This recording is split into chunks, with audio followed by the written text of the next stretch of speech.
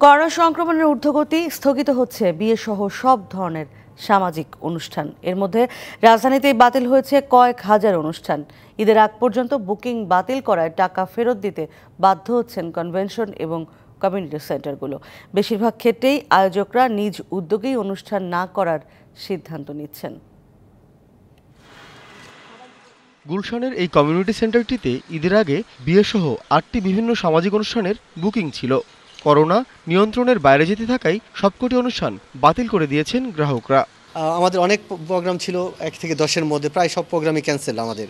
আমরা এখন একটা দুর্বিষহ দুরবস্থার মধ্যে পড়ে গেছি যে আমরা কি করব এই এমন অবস্থায়। সরকারের যে নির্দেশনাই দেখ আমরা মানার চেষ্টা করব।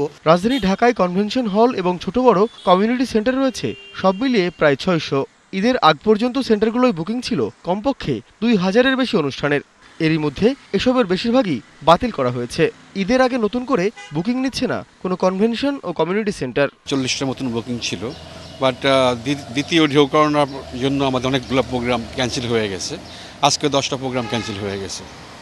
এর ভিতরে কর্পোরেট প্রোগ্রাম ছিল পার্সোনাল প্রোগ্রাম ছিল বিয়ের প্রোগ্রাম ছিল। ঢাকা উত্তর সিটি কর্পোরেশন পরিচালিত কমিউনিটি সেন্টার রয়েছে চোদ্দটি।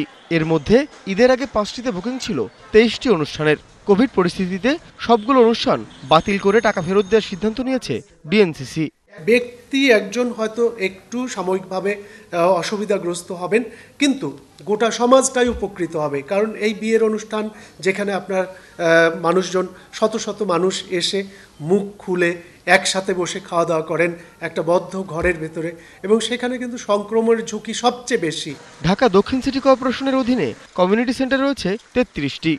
তবে এখনও অনুষ্ঠান বাতিলের বিষয়ে সিদ্ধান্ত নিতে পারেনি ডিএসসিসি শিগগিরই সিদ্ধান্ত নেওয়ার কথা জানালেন কর্পোরেশনের প্রধান নির্বাহী কর্মকর্তা।